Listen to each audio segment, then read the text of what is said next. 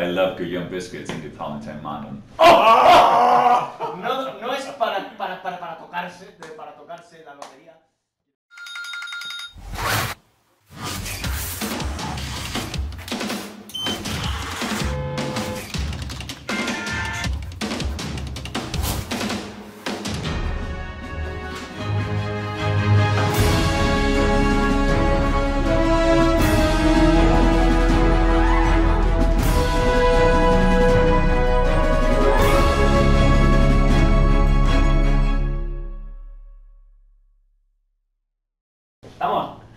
¿Estamos?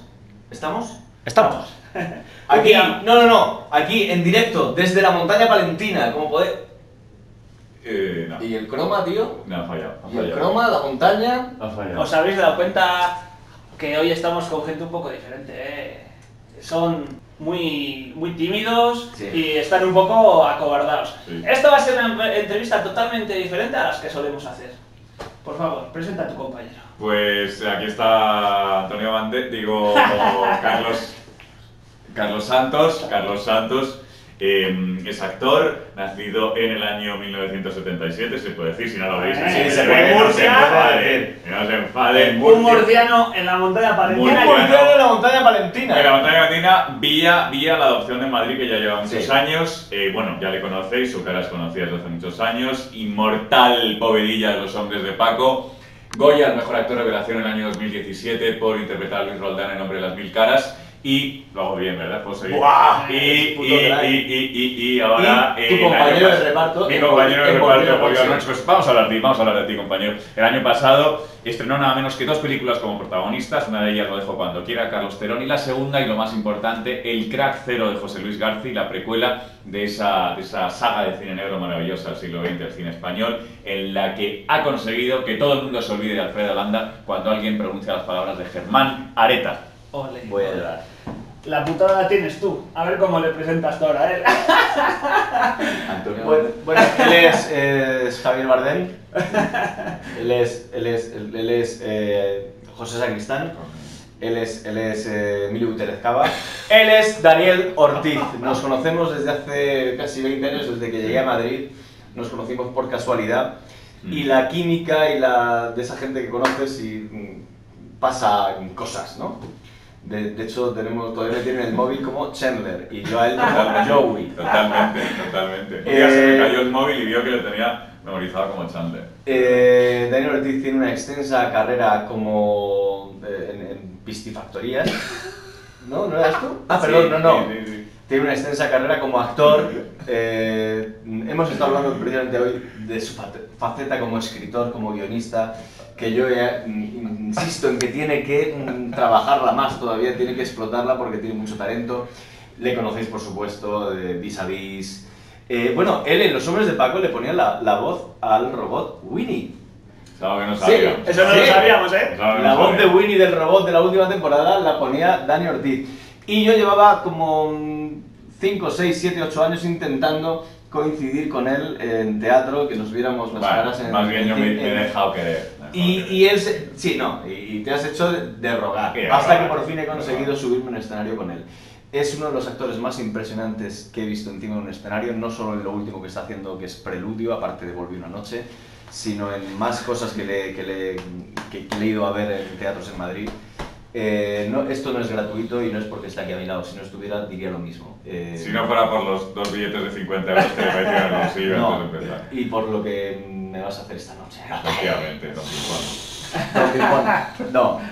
Bueno, Dani eh, ha, ha trabajado en Luna, en Los Hombres de Paco, en Vis a Vis, por supuesto, en Living la Pies. Oh, en- qué clásico. ¿Qué más? ¿Qué más? Qué ¿Qué más? clásico. ¿Qué más? Pues, ¿Qué más? bueno, ¿Qué más? muchas cosas, Y por cosas. su, bueno, yo he trabajado con Calista Flockhart, que es la mujer de Harrison Ford, en una película que se llama Frágiles. Ha hecho muchísimas pelis en inglés, fuera de España o dentro de España, rodadas en inglés, porque habla inglés maravillosamente. Eh, Is that yes. so? Sí, sí, yes, Spain is different. Yes. Eh, No, We- no, no, no. Here in the- here in the Show yourself, show yourself. in the- Talk, in the- talk in the English. Valentine No, Mountains. No, por favor, quiero que digas Eh, me encanta eh, levantarme por la mañana y comerme unas galletas Gullón. eh, eh, En la montaña En la palentina. montaña palentina. Voy a decir. Inglés, por favor. I love Guillaume biscuits in the fountain man. No, no es para, para, para, para tocarse, para tocarse la lotería, quiero decir. Me lo he inventado, pero claro. bien. Y pregunta, ¿qué diferencia o qué preferís? ¿El teatro o cine o la televisión? Esa es la pregunta que ibas a hacer, tío, de verdad. O sea, con, Esa con es- ese, chal- con ese, con ese chaleco tan currado, tío.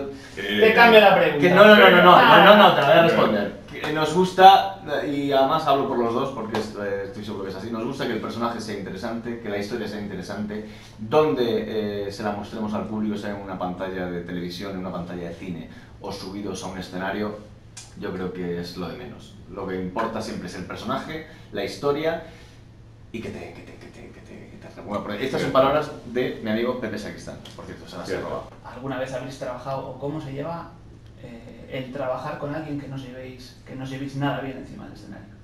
Que no os llevéis nada bien fuera del escenario. Eh, Pues con una falsa sonrisa, Vital Dent. Y, Una putadilla, ¿no? Efectivamente. Y bueno, pues siendo profesional y, y ya está, poniendo buena cara y esperando que acabe cuanto antes. Sí, poniéndote un... ¿Sabéis lo que es un cilicio? Es una cosa que se ponía... ¿Habéis visto el código de Da Vinci? Sí, lo que sí, lleva Paul Bettany aquí en el muslo ahí, que se lo metía para que se clava. Te pones un cilicio aquí... Con una liga de metal. Una cosa que te- se te clava aquí en el muslo y tal. Eh, pues con mucho sufrimiento, la verdad. Cuando lo mejor de esta profesión, eh, además de, por supuesto, que es vocacional y que se hace para pasarlo bien, para disfrutar, por amor, porque es vocacional. Cuando alguien eh, se cruza en tu camino y hace que el amor a esta profesión eh, lo pongas en duda, es una puta mierda. ¿Te ha gustado? Me ¿no? encanta, me No, encanta. voy a, voy a- Vamos no, no, no, voy acabar. a, voy a- voy a retomar. Eh, esta profesión es maravillosa y lo que tiene de maravilloso es jugar. En inglés, actuar se llama play, en francés, jou, todo es jugar. Cuando el compañero con el que juegas o compañero con la que juegas eh, no, pues se va toda la mierda y te dan ganas de poner una mercería en guardo. Porque botones siempre hacen falta. Siempre, y medios. ¿Y qué os parece? Tú ya has venido más veces la Angu, Oh, nuestra comarca, y la suerte que tenemos en toda España, de siendo localidad pequeña y comarca pequeña, la, el amor a la cultura que tenemos. Manu, Manu, Manu. Bueno, Va, es verdad, hemos flipado. lo que, lo que has dicho. Es ver- no, verdad. es verdad, porque a ver, Carlos ya lo conocía, pero es verdad que eh, habíamos oído hablar de Angu, pero hasta hoy no habíamos ido a la sede. Bueno, ¿no? yo sí. Y claro, no, Carlos Ya sí, pero yo no. por Pedro y por Y Pilar. por- hemos ido con Pedro Segura, con Pilar Aguilar, la productora de la función de Volvió una noche, y hemos, o sea, alucinado. Y a mí la mejor definición me parecía que parecía, de- decía que parecía la residencia de los X-Men, pero aplicada a músicos. Hostia, ¿no? qué buena esa, ¿no? ¿eh? Entonces era como, y esto es el salón de actos, perdona, y esto es la sala de ensayos, Y, acá- y esta es la otra sala de la ensayos. sala que, que entrábamos, había gente ensayando con el Sí, oboe, sí, con sí, el sí, clarinete, en la sala de danza había niñas eh, haciendo danza, en la sala de música había gente con la batería, con, con- o sea, eh, creo que la labor que hace Angu eh, es, es Espectacular, espectacular. o sea, Angu debería ser em, patrimonio histórico de la humanidad. Debería haber un Angu en cada localidad. Esto es- no es coña. Es verdad. Debería, Ah, haber es un verdad. Angu, debería haber un Angu en, ojalá hubiera un Angu en cada localidad de, de este país, porque es que es impresionante. Yo lo conocí por Sara Escudero cuando me dieron el Angu de honor, me, me- me escribió ella, me dijo, oye, un amigo que, que te quieren dar este premio, de verdad que son majísimos, vine, todavía no estaba el auditorio, creo que fui el último en recibir el premio en el, en el salón de actos, creo, creo recordar que fui el último. Y en ese salón de actos de, de casi de un colegio, entrar ahí... Muy familiar, Muy era. familiar, o sea, es espectacular. cuando empezamos la gira de esta función de Volví una noche, eh, fui yo el que le dijo a la productora, oye, habla con Guardo, contacta con Guardo porque han abierto ya, han inaugurado ya el auditorio y estoy seguro de que vamos a poder, a poder ir para allá. Y hay que dar las gracias a, a Angu y a todos los, los actores y, y personajes que, que venís, que al final hacéis que salgamos de casa y dais ambiente a Pero eso no es, no es mérito nuestro, es un mérito de, de- de la labor de Angu. O sea, si Sí, en el fin y al cabo es el, es el intermediario, es el nexo de unión entre, entre el público y nosotros, ¿no? Pero yo creo que es, bueno, que ya el colofón ha sido cuando ya no podíamos ver más cosas, de repente dicen, y ahora vamos a hacer una entrevista para la radio. Y hemos preguntado, ¿pero la radio dónde está? Y dicen, no, no, la radio está aquí. Y entonces que ha abierto hace como tres semanas. Y entonces entramos en un estudio de radio profesional, con todas las peceras aisladas, con todo. Y hemos alucinado. Hemos, o sea, me, me parece que. Somos que unos esa- privilegiados. Absolutamente, porque sobre todo, se lo decía Manu en la comida, que también hemos comido con él en, en Campo Redondo, era, se llamaba, ¿no? El abuelo. En el abuelo. Y maravilloso el abuelo, Silvia. por cierto, maravilloso. Y, no, y le decía que, claro, que, que cuando encuentras una asociación así, que, que trabaja a un nivel multidisciplinar, con teatro, danza, o sea, con distintas disciplinas, música, por supuesto, que eh, todo es mucho más fácil. Entonces, luego hay una coherencia en la programación, en la línea de, de- de espectáculos que vienen, que van a venir, que se corre la voz de uno a otro de, de cómo están funcionando las cosas. Pero sobre todo lo que te despierta, ¿no? El, el- Mm. ya tenemos una edad, yo tengo 42 años, tú tienes eh, 10, 72. 10 o 12 más. Sí. Lo que te despierta, lo que recuerdas de tus inicios, de la ilusión con la que empiezas a trabajar en esto, a dedicarte a esto, eh, realmente llegas a un sitio así con esta asociación con Angu y todo eso te lo vuelve a despertar, esa ilusión de, de- de- de la gente currándoselo. Mm. No- no- mañana puedo ir al estreno de no sé qué peli en Madrid, la alfombra roja, el fotocall y mierdas. Se hace, se- si hay que hacerlo. mierdas. Sí, si hay que hacerlo, se hace, pero quiero decir, eh, y es parte del show business de cuando ya eres conocido y estás en este mundillo, pero cuando vienes a una cosa hecha con tanto amor, con tanta dedicación, con tanto cariño y con tanto esfuerzo, joder, es que recuerdas, te, te- te- lleva a quién eras tú cuando decidiste dedicarte a esto. Y eso, Pues, pues muchas gracias. ¿Y qué os parece si habéis subido hasta Campo Redondo? Mm.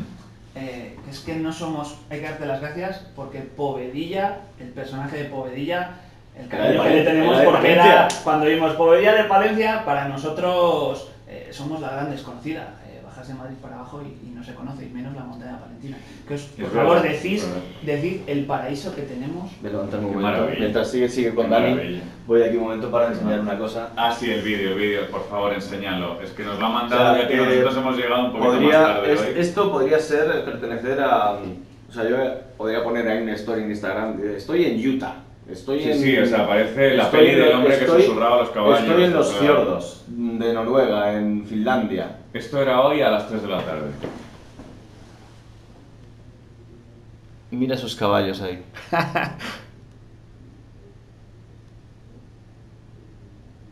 Brutal, bailando Es con que lobos. Nosotros lo vemos Esto es de hoy. la Espectacular. gente... Sí, nosotros lo tenéis como algo normal. Yo eh, os confieso que no, no lo conocía y de hecho en el coche mientras hacíamos todo el trayecto desde Guardo hasta Campo Redondo y subiendo y todo y nevando y Los he convencido. que que nos habéis convencido porque veníamos cansados. Y dice, venid aquí a comer que va a merecer la pena y es verdad, tenía toda la razón del mundo. Y con, con todo el embalse, todo el- o sea, era como yo- nosotros mismos decíamos, ¿cómo, ¿cómo esto no se conoce más? ¿no? Porque Eso es como un, es, es Estamos un en paraíso. entre- Sí, se conocen mucho los picos de Europa, que lo tenéis, lo tenéis al lado, pero de verdad este, estos parajes, la ruta de los lagos que tenéis aquí, de los pan- la ruta de los pantanos, perdón. eh, Ya sabéis, hay que venir, ¿eh? que tenemos que seguir viviendo en el hay que pueblo. venir, hay que venir, hay que venir, hay que venir. Eh, De, de hecho, te iba a contar con lo de Palentino, te voy a contar una, una anécdota. Una vez me llamaron de la televisión de Castilla y León, eh, porque están haciendo un programa con palentinos ilustres. Oye, Carlos, mira, te llamo de Castilla León, como eres palentino, estamos haciendo un programa para que lo- los palentinos ilustres pues enseñen sus sitios de referencia, sus bares, sus rincones favoritos. Digo, ah, coño, es una idea cojonuda, me parece estupendo. Solo que soy de Murcia, ¿sabes? Eh, y, y- y estuvo muy bien porque se quedó ahí la cosa y a los dos o tres días me vuelven a llamar, oye, mira, que le hemos dado una vuelta. Como tu personaje sí que es de Palencia, lo que vamos a hacer es dar una vuelta al programa y te vamos a enseñar a ti Palencia. Y estuve aquí dos días en Palencia, conocí, bueno, me subieron al Cristo del Otero, me llevaron a los sitios típicos de tapas, de la ruta de la tapa de Palencia que es muy conocida, eh, me llevaron a, bueno, pues a, las- a los monumentos más conocidos de la ciudad y fue una experiencia que, vamos, como, como pal- palentino adoptado por los hombres de Paco por Povedilla, me, me- me llenó de, de orgullo y satisfacción. Y pregunta, que tú no sé si lo sabes, ¿El qué? ¿dónde tienes puesto Goya? No lo sé. De hecho, yo creo que se lo llevo siempre conmigo. Pues mira, cuando el día siguiente de los Goya, porque dormimos ahí en el hotel donde está el auditorio donde se, se hace la gala, Lo perdiste. no, llegué a casa al día siguiente, lo llegamos con los trajes, la, male- la maletita, lo que fuera tal, y lo dejé encima de un amplificador que tengo al lado de la chimenea, y lo dejé ahí mientras seguía mm, eh, sacando las, lo- los bártulos, y cuando ya, bueno, a ver, lo vi ahí encima del amplificador, digo, pues ahí se va a quedar. Y Ah, se quedó en el primer sitio donde lo posé cuando llegué a mi casa, ahí se quedó, y ahí sigue. Pues, eh, lo, lo. Bueno, alguna, alguna noche he hecho el amor. No, y, es verdad que alguna vez eh, mi madre me lo ha mangado y se lo ha llevado a Murcia para tener una temporada ahí en su casa. ¿En Bueno. serio? Sí, porque me lo pidieron por un, un periódico, que, por una historia, y, y mi madre no había manera que me lo devolviera. Pero qué mejor que en casa de una madre. Pobre. Va a estar Eso por sí favor. que, como siempre. ¿Y Por qué os favor. parece nuestro proyecto de, de la locura nuestra de cocina de altura? Me parece. No sé, habrá que probarlo. Es como una mezcla entre Al filo de lo imposible y Carlos Arguiñano en la cocina. ¿No? O sea, el hecho, me acabo de ver unas fotos, me han, me han puesto, nos han puesto en contexto, y, o sea, que cocinéis esas cosas y en esos parajes y con esas temperaturas, me parece como menos admirable. Cuanto menos Pues, admirable. hombre, ya lo ha dicho él, lanzaremos el reto. hombre, os atreveréis a Lo- venir. Lo que hay que hacer es probarlo. Probarlo de. Lo primero que he dicho. de aquí de altura. te ha ampliado la foto y te he dicho, eso es una tortilla, esto, esto, qué es. habrá que probarlo. Pues habrá que ponerles el mandil de la montaña palentina y Por favor, queremos el mandil. Tenemos el mandil de oro. y el mandril Y el también. mandil también. Y ya, ya para terminar, vamos a hacerles la, la pregunta picante nuestra. Eh, ¿Qué preferiríais? ¿Una vida eh, con sexo, pero comiendo mal? ¿O una vida sin sexo, pero pudiendo disfrutar de, de todos los manjares como los alimentos de Palencia? La segunda ya la tengo, entonces yo creo que la primera, ¿no? Yo no, no, no sabría qué decirte, ¿eh? Yo tengo espíritu de hermano marista, yo es que estudié en los maristas, entonces tengo espíritu de monaguillo. Mm, Es que la comida es la hostia, tío. Sí, sí. Yo, yo, pero también te digo una el cosa, y yo... El sexo, el sexo, tío, ya te he dicho, Don Pimpón esta noche me va a disfrazar. Cierto, pero yo es verdad O sea, que hay no, una somos, cosa... no no somos pareja, no somos gay. No. O sea, no somos eh, No. heteros, pero, pero, pero. Dios, yo- Eso uf, que- es lo eh, que eh, tiene. sí, es que, uff, Dios mío, Daniel Ortiz, vis a vis. un vis a vis.